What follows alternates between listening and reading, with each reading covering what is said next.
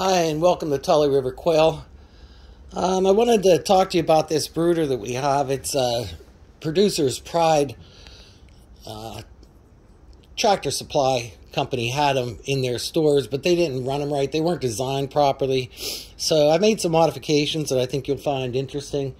Um, we have a bunch of chicks right now, and I'm ready to move them in to this brooder. right now, this is my week, first week box. These guys just hatched today. Those guys hatched a couple days ago.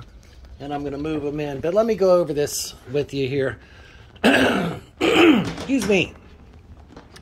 So this brooder is really cool. It's nice.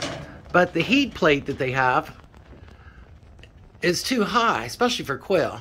And if you look up on top, there's a little rack holder a little slot up there. Okay, so what I've done is I made my own little rack holder.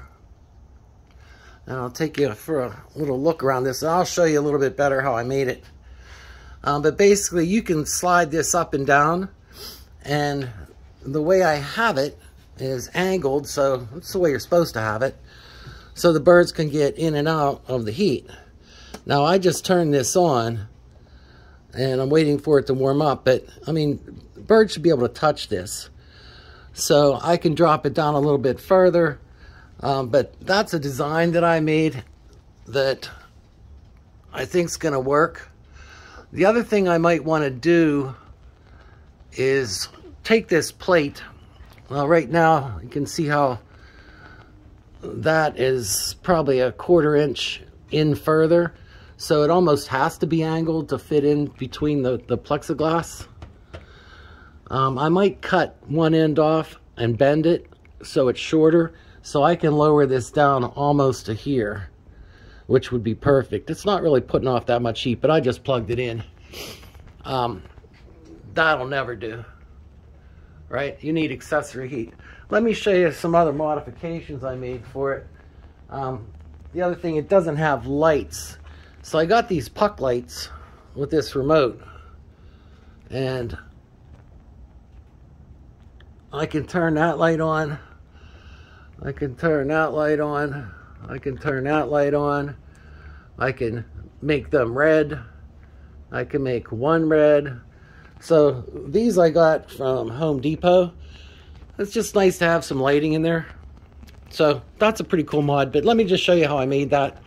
Um, I took a sheet of plexiglass and I have video on that. It was 18 by 12 and I took it to my table saw, cut it in one and a half inch strips. Uh, this is what's left over. I had a 14 inch piece, 15 inch piece, cut that in half. So this is seven and a half inches. And then this is one of the outtakes, what was left over, but inch and a half pieces for the edge.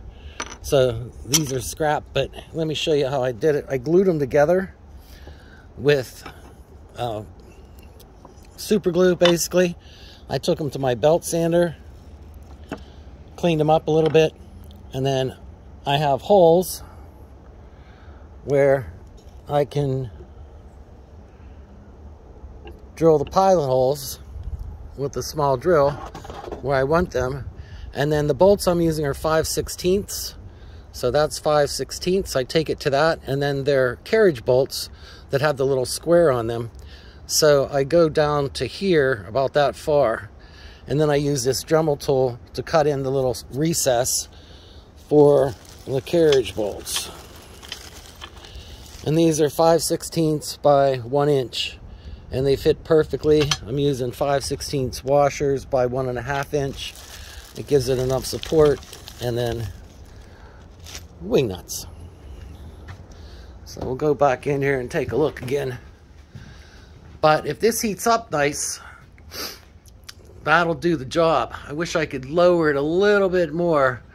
But again, by using the stock tray, the stock plate, without shortening it, I'm not going to be able to do that. So again, I could just cut off, I'll show you. If I were to cut off one of these lips, like right here, and then make this same bend or take it to a place that has a metal brake. I have one so I can do it. But just basically cut this one end off and then bend it here. That gives me the quarter inch, quarter inch thickness of the plexiglass that's on either wall and will allow that to fit in horizontally perfectly. I could still angle it a little bit, but like I said, the cool thing about this is with two hands, if this fit in there perfectly, you can raise half, lower it, so you could be able to, because there's enough play in here that you can raise it and lower it. So that's a little modification I did for the Tractor Supply uh, brooder. I like it. It could have been designed a little bit better. Um, Tractor Supply sold these off. Um, a guy got them from got them for 400 bucks, so I paid 400 bucks for them. They have uh, feeders and waterers, or you can choose not to use them. So with my chicks, I'll probably use this kind of stuff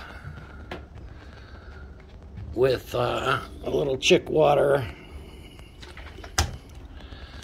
and put them in there for the first week and then after that I'll use the the trays. This just loosens slides up slip the tray in.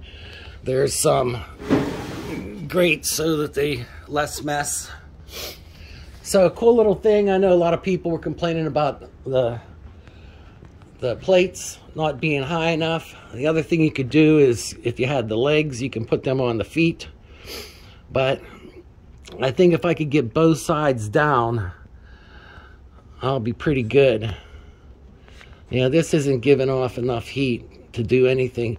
You almost want the birds to be able to touch the back, right? And to get away from it.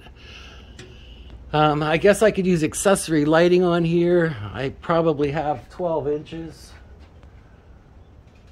Uh, I don't see my ruler. Here's a ruler.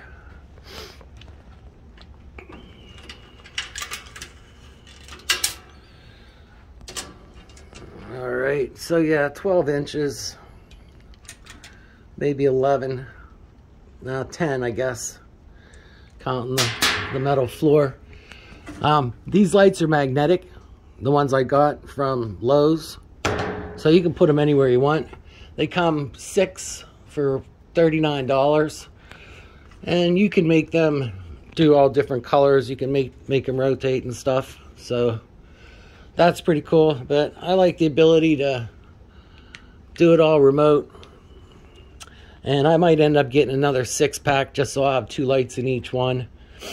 Um, I wish I could come up with another little lighting system. The other thought that I had was to use this original plate. Keep the rack the way it's mounted. The problem with this rack is you can't take it out once you have this slide out tray in you have to move the tray completely out. So if you have birds up on top and you need to do something with the tray, you can't take that mounting out. So my other thought was to, see, I have one up here. So I have the tray up there. If I were to put a block of wood here and put some screws or hooks, I could hang a put this up by chain and then I can angle it however I want to and it would be swinging. It wouldn't be as steady as the stock thing.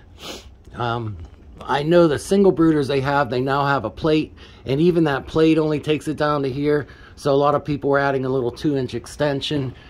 Um, I wish they just thought a little bit better or talked to actual breeders before they made these instead of talking to their resident tractor supply vet. But uh, anyway, I think that other thing would work with just putting a little piece of plywood in there or a 2 by 4 or whatever because these can clamp down. So basically a, a 2 by 4 here back and forth with some chain on either side. I think that would be great. Well, here's the queen of the roost. All right, guys, that's it over and out from Tully River Quail. Here's our special, special love breeders. Have a great day. Over and out. Stay free.